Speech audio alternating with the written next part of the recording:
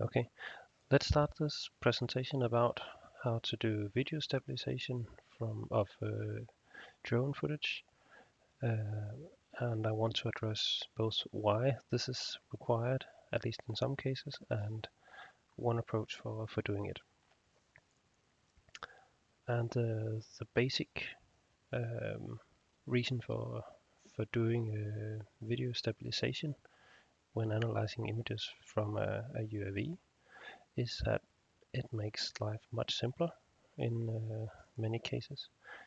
Um, and one example of, of, what can be achieved by analyzing drone footage video is uh, the following video that um, Czech, Czech uh, company from the Czech Republic has uh, analyzed from uh, drone footage in, in Copenhagen of some kind of intersection.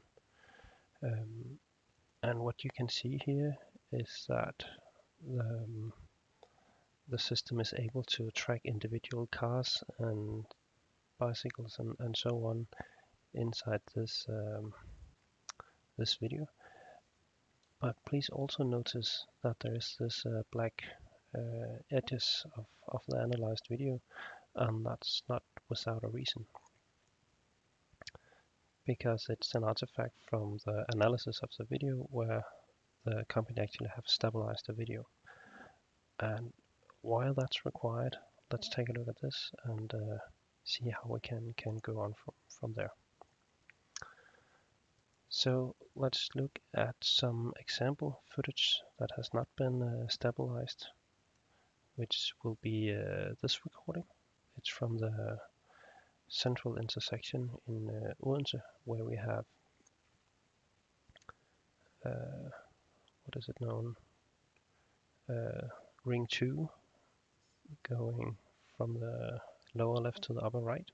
And in the opposite direction we have um, Sønder Boulevard. And can we see it once again? If you pay attention to, to the video here you might be able to see that even if the field of view is more or less the same, there are some slight motions uh, moving of, of uh, different parts of the of the video, and that becomes problematic if we want to analyze it using an approach like uh, background subtraction. So let's see how that uh, actually looks like when we perform background subtraction on this video uh, without uh, thinking much more about it. And background subtraction detects all of these tiny movements and for this this video in particular it detects motion all over the place. Both the moving cars but also the background that is moving because the field of view of, of the camera is uh, changed during the, the recording.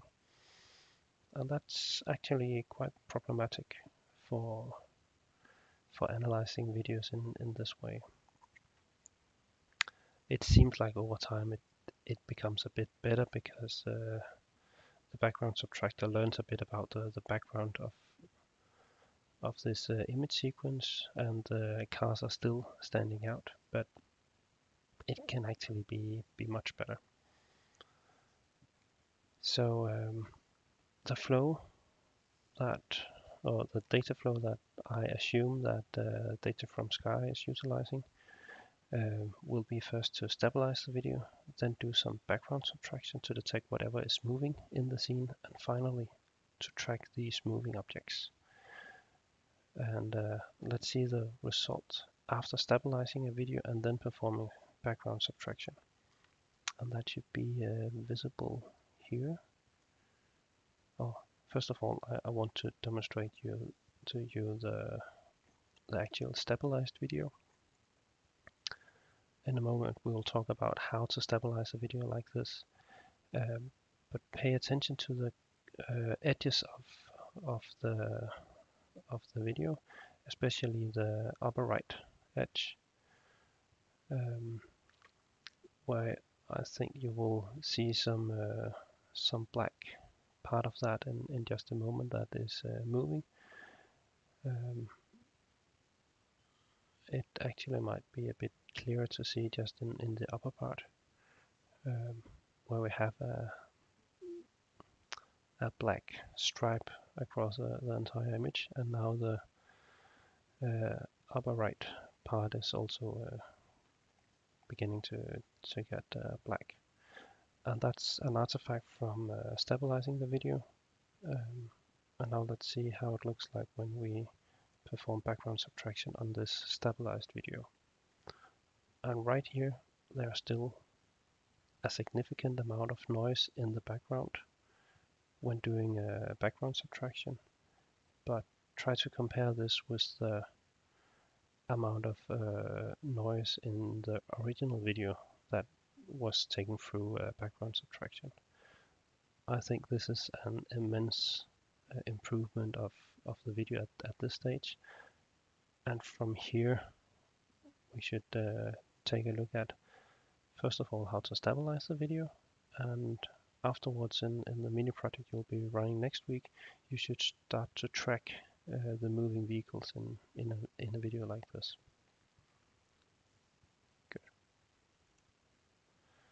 So this part about stabilizing video will be covered today in this lecture. Background subtraction we talked about last week. And finally, to track moving objects. It was partly covered uh, Tuesday this week where we talked about Kalman filters. Um, Kalman filters is one way of tracking uh, moving objects. And that will also be part of the, the mini project that you will look into next week.